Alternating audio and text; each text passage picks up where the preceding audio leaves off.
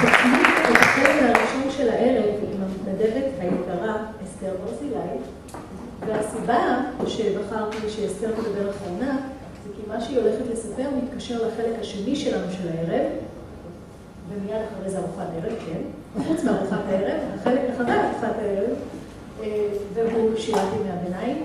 אז אסתר, הבמה שלך. אני רוצה לספר לכם על וידל בן בנסט, ויקיפדיה ואני. זו שלישייה שמככבת כאן. בפעם הקודמת הזכרתי את אחי בקשר לפעילותי בפרויקט בן יהודה. הפעם אני מזכירה שתיים.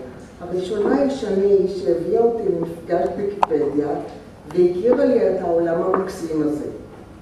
הנה.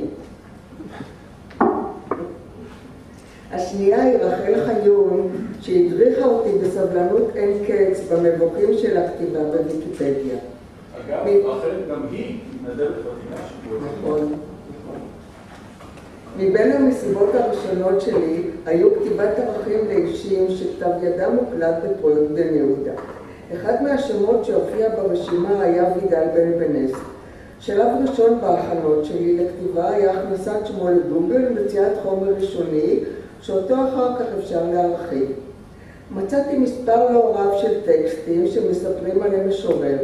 יליד ותושב בעיר סרגוסה במאה ה-14, חונך על ידי משורר אחר ידוע בשלם, בשם שלמה דיפיארה, והיה מבין האחרונים שבמשוררי יהדות ספרד של תקופת הזוהר.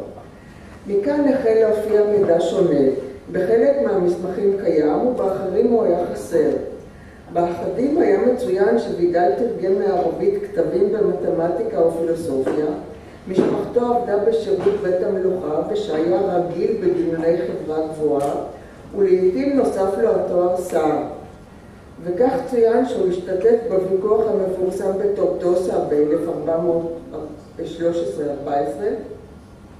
בחלק מהכתבים נוסף גם המידע שהתנצל באותה התנצרות המונית שהתרחשה ביהדות ספרד בעקבות הוויכוח.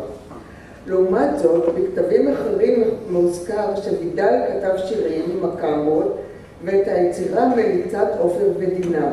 היה רופא, או לפחות בעל ידע רפואי, ותרגם מערבית ספרי רפואה. הוא גינה בשיריו בתוקף את המתנצרים. גם השם לא היה עקבי. לעתים נכתב על המשורר בשם דול, דון וידל בן לביא בן בן בנסט, ולעיתים דון וידל בן בנסט. אי הוודאות שלי גדלה, פחדתי מפני כתיבה שגויה.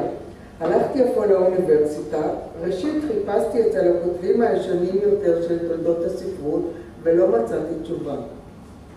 גרץ היה הראשון שהזכיר כבדרך אגב שאולי מדובר בשני אנשים אבל לא ערך הפרדה בין היצירות. חזרתי לרשימות שלי ומצאתי ספר על היצירה מליצת עופר ודינה מאת דוקטור מתי הוס שעל פי מצוין נכתב על ידי וידל בן בנסט. בביbliografיה של הספר הוזכרה עבודת דוקטורט של תרצה ורדי. חיפשתי בדפי הספרייה, מצאתי דפי סטנסילים הצהובים ובהם נמצא ישועתי. בתחילת העבודה מופיע פרק שכותרתו היא שאלת הזיהוי של דון וידל בן בנסט. השמיים התבהרו. מסתבר שהיו שני אנשים בעלי שם דומה שאף גרו באותה עיר ומשפחותיהם התחתנו אחת עם השנייה והם עצמם הרבו לכתוב אחד לשני שירים ומכתבים ואף כתבו כמה יצירות יחדיו. דון וידל בן בנסט נשא לאישה את אחותו של וידל בן לביא. יחד עם מנחת הרווחה התחלתי לכתוב את הערך שמופיע היום בוויקיפדיה. אם יש מי שיודע יותר ויכול להוסיף, תבוא עליו הברכה. וקיים ערך מוסף לעבודתי. עד לכתיבת ערך זה היה הגירוש מספרד בשבילי אירוע היסטורי, גדול ורחוק, והכתבים אודותיו בעלי משמעות כלכלית, דמוגרפית, תרבותית וכיוצא בזה. בחומר שקראתי הפך אירוע זה מפרק נוסף בספרי ההיסטוריה למקרים אנושיים שקל יותר להזדהות איתם. נתקלתי בסופר שלמה דיפיארה, שהיה כנראה מבוגר וחולה מדי מכדי לנדוד, ובלית ברירה התנצל וליבו כאב עליו. הוא כתב מכתבי סליחה ובקשת מחילה לידידיו ותלמידיו, בנס אגב סירב לענות, לענות לבקשת מורו. פגשתי בבלידל בן לביא, שמשפחתו הייתה קשורה לפרנסתה במוסדות השלטון, והעדיף התנצרות וחיי רווחה על פני נדודים ומחסור.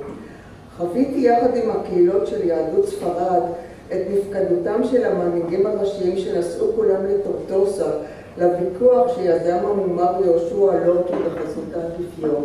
הקהילות נשארו ללא מדריך רוחני מול הלחץ הנוצרי, רבים איבדו דרכם והתנצרו. קיצור תולדות יהדות ספרד בפרט ויהדות העולם בכלל. התחזקתי בדעתי שמדינת ישראל היא המקום הבטוח ביותר לעם היהודי, אבל צריך לזכור גם את הצרות שעברו על עם ישראל ולנהוג בסובלנות ולמנוע סבל לא רק מעצמנו אלא גם מאחרים. ואם יש לכם עוד שתי דקות סבלנות ואני לא יודעת להיות מקריאה טובה של שירים אז רציתי שתי מילים להקריא לכם את אחד מהשירים של וידל בן בנס. אם לא ידעתם עד כה של וידל בן בנס, על תהפוכות הזמן אשר שם עליונים למטה ותחתונים למעלה.